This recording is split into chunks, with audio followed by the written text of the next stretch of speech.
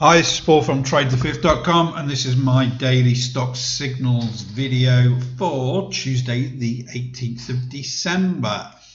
So I'm looking at Square on the daily time frame. I'm going to be using our black box breakout indicator for the Thinkorswim platform. It's also available for NinjaTrader.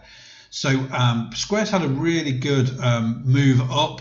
Um, on in a bullish trend, you can see on multiple time frame dot cloud there, all green, green squares, really strong bullish trend, and then we start to see weakness on the multiple time frames. The weekly is the bottom of the dots there. As you can see, we've gone green to cyan, now to red, so it's below our W5T EMA cloud now on the weekly. This is the daily time frame.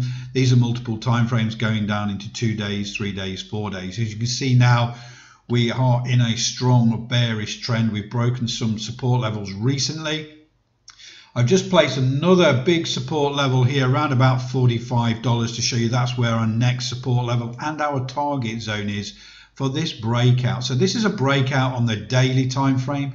So yesterday, if we zoom in a little bit high longer here, we can see now yesterday we had increased volume. How do I know that? Because our candle was red. All the previous days last week were blue and grey, so lower volume. Then yesterday we had a volume spike, contracted price action, broke this support level here.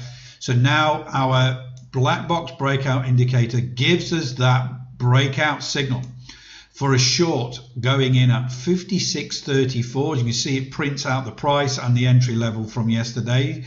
Uh, the stop loss is 63.70 and we've got a risk to reward there of 1 to 1.6 right to our target zone here that major support level uh, which also coincides at the moment with our trend channel that I've drawn in here as well so we've got a great risk reward markets seem to be turning down again breakout strategy uh, we have the 56.34 on the daily time frame for the short on Square SQ with a stop loss at 63.70. Again, this has come from our black box breakout indicator for the Thinkorswim trading platform. It is also available on NinjaTrader.